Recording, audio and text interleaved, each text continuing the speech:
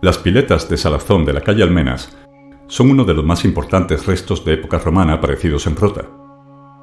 A partir de su hallazgo en 2019, en las inmediaciones del mercado de Abasto, se llevó a cabo un estudio mediante georradar en busca de más restos en el subsuelo. El resultado fue una serie de muros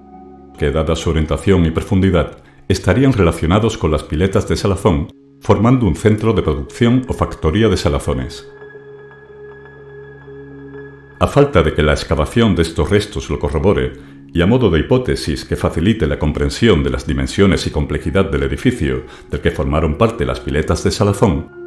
es posible plantear su reconstrucción ideal en base a una serie de espacios comunes en este tipo de edificaciones destinados al proceso de elaboración de las conservas de pescado en salazón y del garum.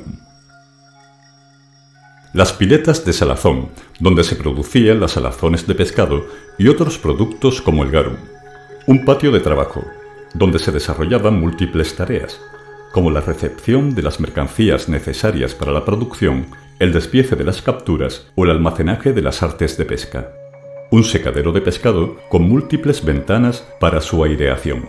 un almacén y una tienda para el despacho de los productos de la factoría de Salazón, situada junto a un patio de acceso principal,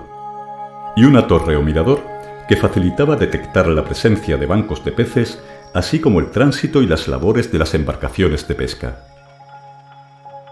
Según las crónicas de los monjes mercedarios, sobre parte de los restos de la factoría se construyó a principios del siglo XVII el convento de la Merced, ya a principios del siglo XX, uno de los claustros del convento se reformará como el actual Mercado de Abastos.